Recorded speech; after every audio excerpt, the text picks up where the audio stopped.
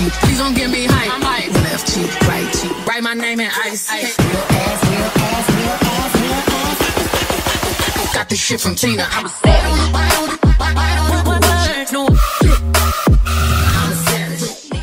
Hey beauties, it's Nikea here with another video. Y'all seem to like my nail video, so here I am making my own press-ons, okay?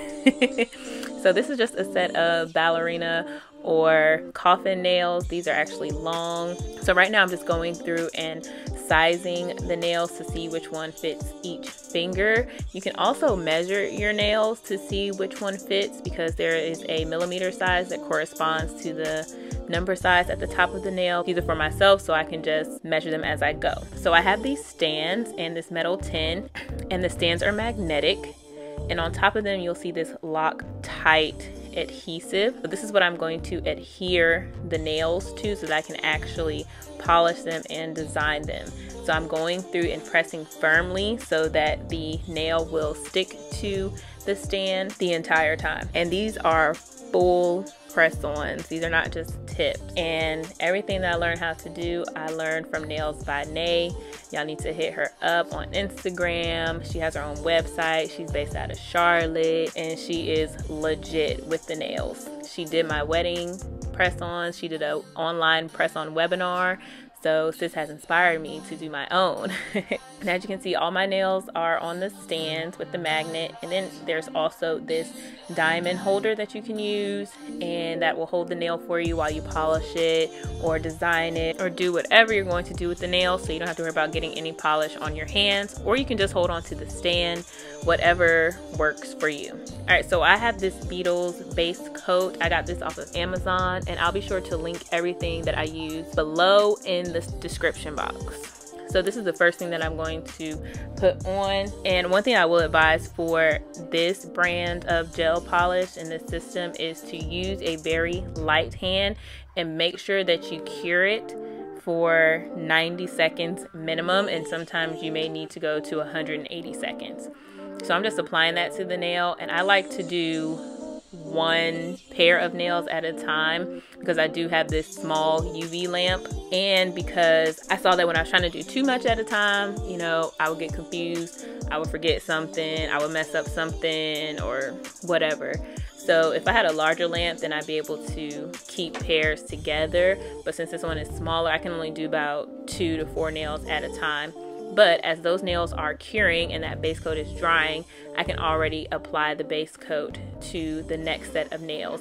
So I try not to waste any time and just work in tandem. And this metal lid definitely comes in handy, but I will definitely need a bigger UV LED lamp. Now that I have the base coat on this first pair of nails, I am going to go ahead and polish the nails. I have a set of polishes. There were six colors um, I will link this in the description box. Don't remember the name of this set, but it was in the blue green family. So I'm going to use several of these colors today. As you can see, this is number 256. They have a shade sample on the top. This is more of a translucent blue, and I am going to show you all what this looks like with multiple coats. And again, make sure you paint the entire nail and make sure you use a nice thin layer because you're going to apply multiple coats and what I've just learned from practicing with this polish is you don't need to apply thick heavy coats because I haven't worked with gel polish before. I'm just used to regular nail polish. But gel polish, you need thin layers and you're just going to apply multiple coats to get the color payoff that you want. And again, make sure that you're curing this polish for the recommended amount of time for me, I did two sessions of 90 seconds just to make sure that the coats were evenly cured because I'll show you what happens later in the video when you don't cure each coat properly. So you have to cure the base coat, you have to cure each layer of the color that you apply, and you have to make sure that you cure the top coat for the recommended amount of time. And here I'm just showing you all the different colors that I have and that I decided to use. And at the end, you'll see the other colors in the set. And this is the difference between two coats and one coat in that first color. And then here's the top it off top coat. Like I mentioned before, once those layers have cured, go ahead and apply your top coat a nice thin layer. We don't want to have any issues with the polish once it's cured. And here are my nails cured with the base coat, color coat, and the top coat. And here's the final look of that first color.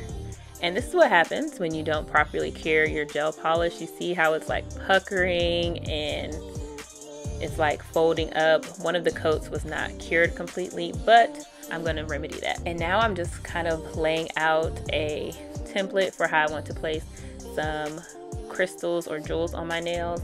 Again, I will link this in the description box below where I got them from, but I just like to kind of plan it out on a paper towel first before I actually commit to putting it on a nail because I'm not there yet where I can just put glue on the nail and be like, oh, this is where I'm going to put a jewel. so I just kind of like to plan it out on my table first, and then I'll go on to placing it on the nail, and then I can kind of freestyle from there. And I'm just using the tweezers that came with the jewel set. So I have some really small round ones that range in size and then I have a set of 12 larger stones and I'm using Gorilla Glue but what I've seen Nails by Nae use is Loctite glue and it actually has the squeeze handles on the side and a more controlled nozzle which is way better. I was able to make this glue work because it doesn't dry super super fast and it does give you some time to kind of maneuver the jewels around but it would definitely be easier if I had the pointed nozzle. And here's one method that I use by just putting the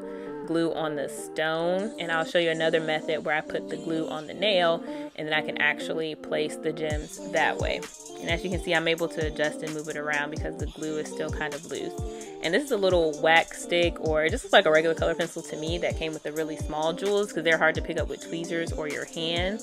But that helps you to pick them up or place them.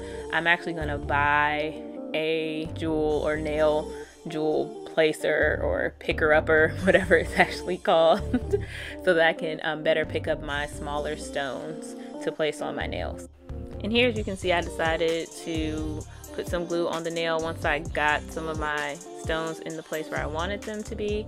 And then I could just pick up stones and place them in the glue and kind of maneuver them around that way because like I said this type of glue is kind of like a gel consistency so it does allow you a little flexibility when placing stones onto the nails and as you can see once I got to the smaller stones I switched to the little wax color pencil stick to be able to pick those up because these range in size to like itsy bitsy teeny weeny to about the size of maybe a push pin head that's as large as they go but that's my finished design there. And this is me just freestyling designs.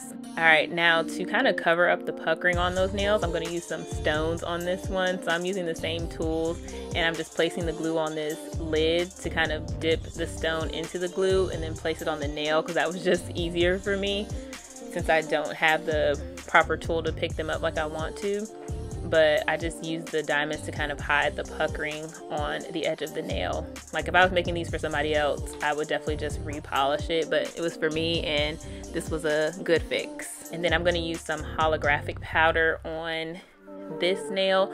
So with this powder, you can go as heavy or as light as you want. So what I did here is I actually covered up the polish and it's actually okay because it has like that holographic green reflex in it. And so it does come with some applicator sponges, but I like using my finger better to get a more even application. And then on the tips of those pinky nails, I'm just using a light touch to get kind of an ombre effect.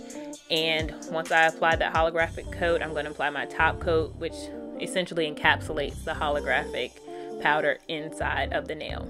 And again, links will be below in the description box. And this is me going back again to apply another layer of the holographic powder on the tip. So I didn't want it to be as heavy on this nail, but I kind of wanted it to have a little bit of the holographic flex towards the bottom for the nail to kind of sparkle and then be heavier on the top. And again, applying that top coat and curing for 90 to 180 seconds in my UV LED lamp. And these are my nails all done. And the last thing to do is to take a nail file and to shape the nail and to file off the tip because on the tip of the nail there's like this little piece I guess where they broke them off the original plastic but yeah just defining the shape of the nail and to file off that tip on the top part of the nail.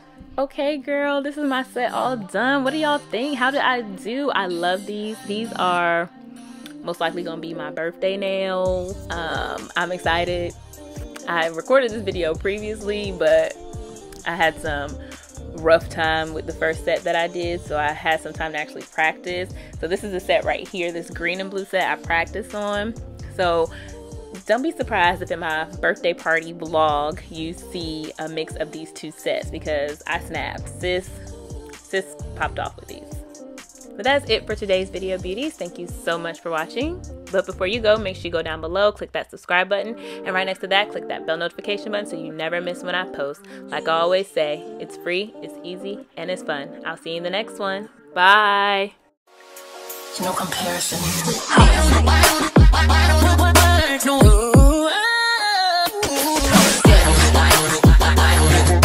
entertained.